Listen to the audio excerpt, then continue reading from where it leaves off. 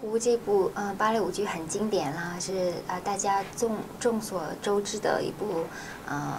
很传统的芭蕾舞剧。那《天鹅湖》我觉得很很好去观赏，因为它的那种画面的呃非常有震撼力，很 powerful 的，很。很很震动，你看的，因为诶，可能有四十几只白呃白天鹅同志在台上跳舞，那个场面那个场景会会很震动。另外，嗯，你可以同时看到一个女主角演不同的 character，可以看她看到她演很柔美的白天鹅，又可以看到她很有技术性的、很有个性的黑天鹅。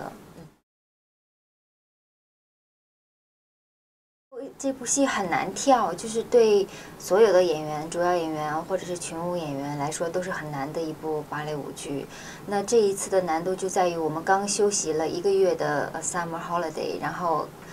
回来一个月就要演出，这个对演员来说，从体力上、从肌肉恢复上面都是一个很大的挑战。那这是呃，已经刚刚第三个星期，我们就要把全部的舞剧已经恢复起来，因为下个星期开始连排，所以时间上面很紧促。